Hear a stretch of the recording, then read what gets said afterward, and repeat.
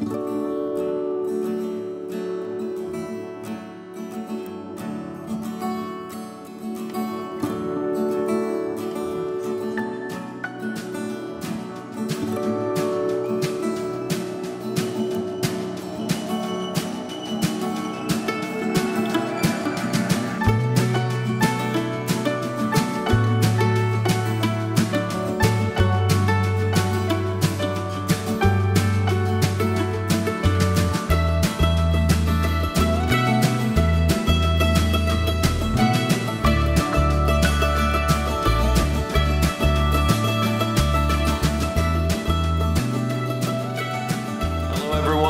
Ben Woodruff here with another falconry video. Today's video we're going to be talking about uh, uh, techniques to help you find prairie falcon nests. Now uh, this video is kind of a mix of uh, old photos, newer photos, videos. Uh, it's pieced together but there's very good information. Now this is helpful if you're a falconer, if you're a biologist doing a biological survey, or if you're a bird bander, or even in some instances for a wildlife rehabilitator. So I hope these techniques are useful to you. Prairie falcons are are a very interesting species. In falconry, they're kind of scrappy, they're tough, they're they're strong-willed and not as easy to train as a peregrine, but they are very often used in the sport. And I've got other videos that introduce the species in falconry, but this is about finding their nests. Now, prairie falcons are a North American species. They range from Canada all throughout the western United States and all the way down into Mexico. In fact, their scientific name is Falco mexicanus. Now, I live in Utah, and the experience I'll be sharing is mostly centered on experience with nesting prairie falcons in Utah, Nevada, Idaho, and Colorado. These techniques apply everywhere, but anywhere you go, a bird can nest wherever it feels like. My point in sharing this is to say if you have no idea what you're doing, where can you actually find them based off of some techniques and help? That's what I'm trying to do. Now, prairie falcons hunt a wide range of food. They are mostly bird hunters, but they're happy to hunt rodents as well, especially in the deserts. A lot of times you will have a boom year where there's an explosion of ground squirrels or an explosion of kangaroo rats or voles, and they're like, sure, I'll, I'll eat those. But the bird that they are most interested in here in the West is the horned lark. That and the western meadowlark. These are two that when I've ever been in a prairie falcon nest, the remains of food that I see are mostly feathers from these two species, horned larks and western meadowlarks. So it's a good good thing to remember of where do you look for them for prairie falcons? Well, you look for where the horned larks are. Prairie falcons don't build an actual nest. Falcons don't do that. There's no assemblage of sticks. So then normally we always say falcons nest on a ledge. They'll find a ledge on a cliff and lay their eggs, might scrape the dirt around a little bit, but that's it. Even though it's true they don't build a nest, that doesn't mean you're not looking for a stick nest. And I'll I'll tell you where what what that means here in a few minutes. But there are many places to look. I, have seen them on tops of mountains. I've seen them in, in ridiculous locations.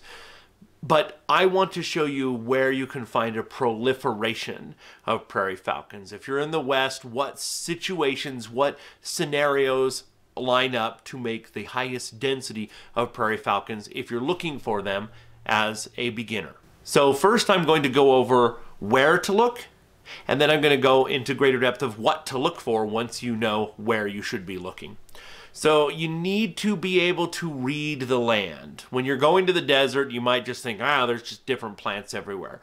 But if you're looking at a slope in the high deserts of the American West, there's pinyon pine trees and those are the same ones where we get pine nuts from.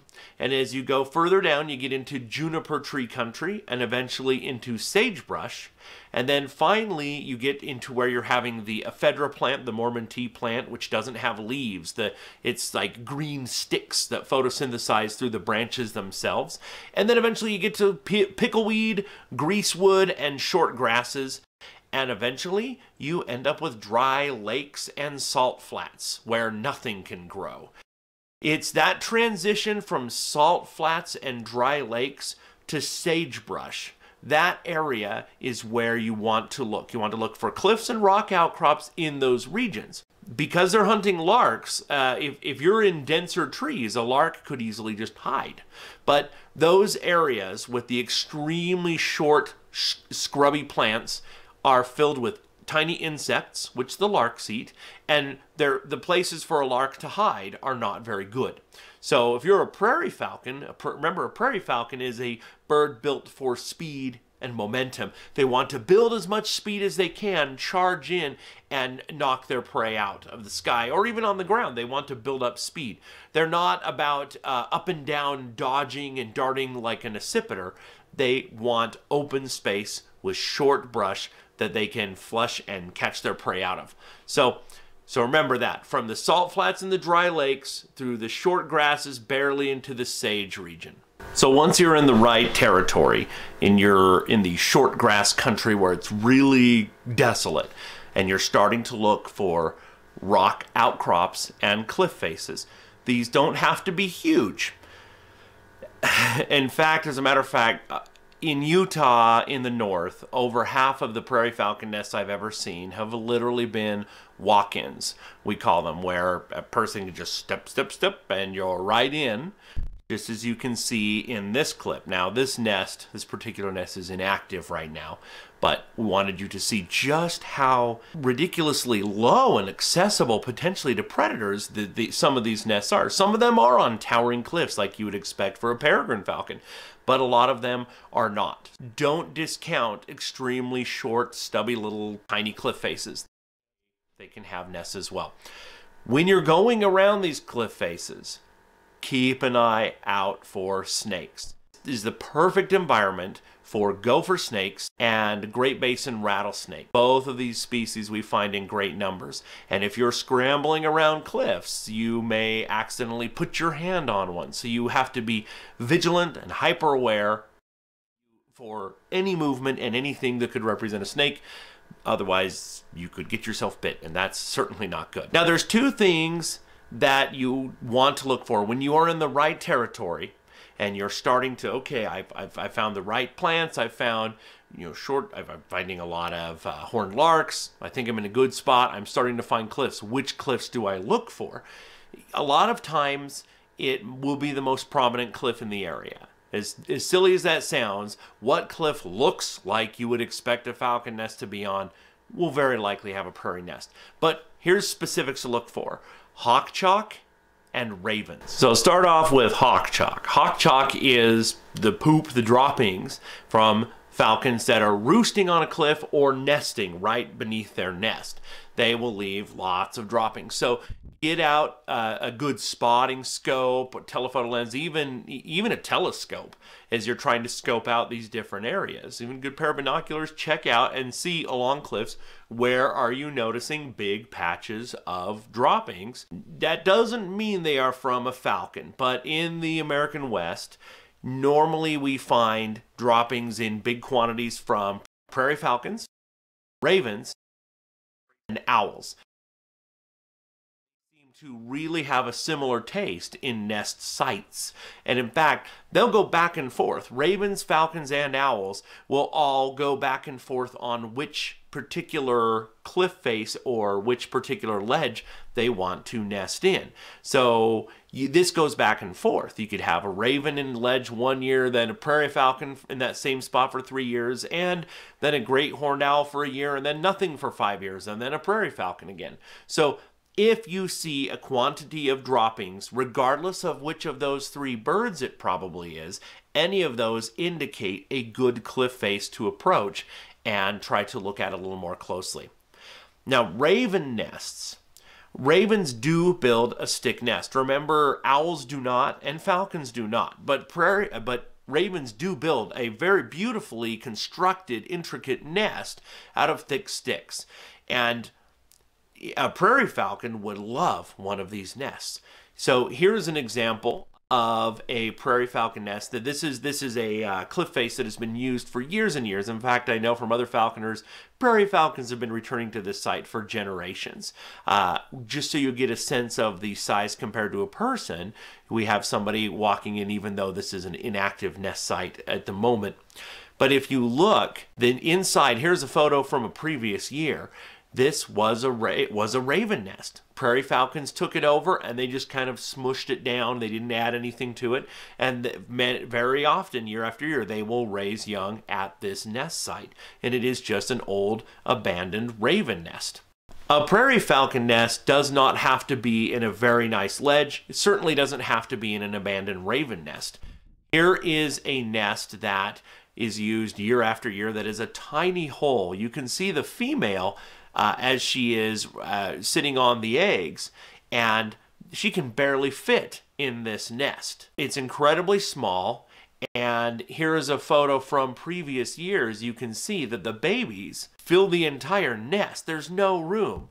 The irony is right next to this site, no more than five to eight feet away, there is a big, beautiful, abandoned raven nest that these prairies could use. But instead, they choose this very specific northward facing slope that doesn't get a lot of sunlight in this tiny little opening on the side of a cliff. Now, of course, sometimes an overhang provides a good choice, which this is a difficult nest to find. As you saw from the previous one, the opening of a, of a nest cavity could be quite small. How much harder is it to find it if it's under an overhang? So here is a nest site of a prairie falcon that's a little tricky to get into. It's under an overhang and the only indication you have about it is the hawk chalk, the droppings beneath it. Now ravens underneath this overhang have built a nest that goes from one side of the overhang to the other. So in truth, it's a it's a tunnel nest. It's like their own perfect cave that has two openings. Ravens have used this, prairie falcons have used this, and great horned owls have used this. They just rotate through this over and over again. But again, on this nest site, the key in finding it was seeing the droppings and then approaching closer to get a better visual of if anything was using it and whether or not it was prairie falcons. Now, if your time of year is correct, which you need to talk to your sponsor or falconers in your area to know what time of year prairie falcons nest in your area. But if you've timed things correctly, and if you've gone to the right uh, the right landscape, you found your horned larks, you found your short grass, you found a cliff face, you have found multiple cliffs with droppings, you found some raven nests, and you approach. When you get close, the prairie falcons will let you know that the nest is there. They'll scream at you, they'll dive bomb you. Uh, some nests are particularly aggressive where they will occasionally even strike you, hit you in the head with their talons. So it is good to be careful. Prairie falcons normally don't hit people, but it most certainly does happen. So screaming falcons is, a, of course, the ultimate indicator that you have found the nest. Now, I must make a caution that with the laws in place here in the United States, it is illegal to bother or harass a nest for any reason unless you have uh, legal permitting that allows it. So in other words, the government wants to make sure that people aren't, aren't, aren't out there just disrupting or bothering birds in a way.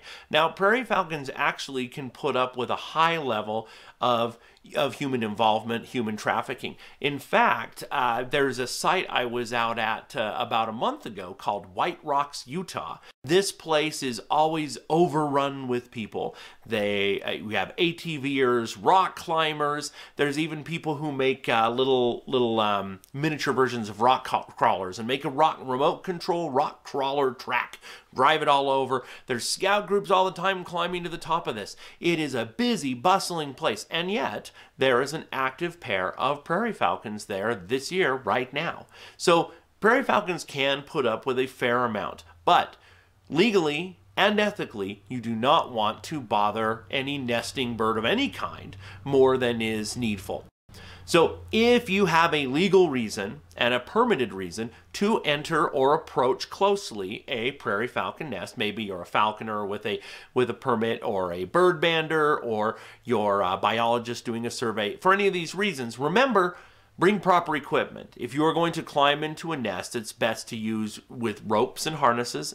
You should not go alone. You should have somebody there with you in case there is an accident. You fall, you can't move, somebody else can get you to safety or make a call for you. And remember to bring water. Uh, I've many times in my early years not brought enough water, and it's easy to uh, get heat stroke out there with these really harsh uh, cliff faces in the desert where the sun is just beating off of you, and it's it's very important to make sure of that. Now, something that I haven't heard addressed before that is extremely important is If you were to pull a baby for any reason, again, whether you're a biologist or whether you're a falconer or whatever the reason may be, typically baby prairie falcons are covered with blood mites, little parasitic external parasites that you'll see, and it's kind of like a tick, and they are sucking blood out of these poor baby prairie falcons. And in addition to that, they may also have maggots, baby flies, fly larvae, in their ears, in their ear openings. Now, this is gross to mention, but it's important that you are prepared so that you can help them. If you are bringing a baby, there, the, here, let me tell you where they come from, first of all. The blood mites are on rodents young rabbits that a prairie falcon might get, ground squirrels, kangaroo rats, any of these are often riddled with blood mites. So a mother or a father bring that back to the nest, the babies start eating it, but now the blood mites are still alive and they're like, well, the animal I'm on is cooling. They go to the next warm thing, which is the baby. Then they hatch, they get all over them. If you take them home, uh, don't use mite spray. Use tweezers. Uh, a baby falcon is still growing. Its skin is absorbing so many things. It's not a very protective skin yet because they're growing by leaps and bounds every day. And if you're spraying them with a mite spray like you would use on poultry, it can cause damage and it also sticks to their growing feather follicles. Not good. So instead, it's tedious, but take tweezers and don't squeeze them. What you do, it's it's gross, but pinch with tweezers the back and gently pull and they'll come off and then give them a little squish with the tweezers and wipe that off on a paper towel. Then go to the next one. It's disgusting, but it's important that you understand this and you address it. Now, the reason why maggots can happen, and this can be true with any nesting birds of prey, but especially desert species, uh, the scent in the nest of dead animals that are brought and consumed attracts flies. Flies try to lay their uh, eggs and they're walking around on whatever's being eaten. And in the process, they're like, oh, and they will lay eggs at the ear opening of these poor baby prairie falcons.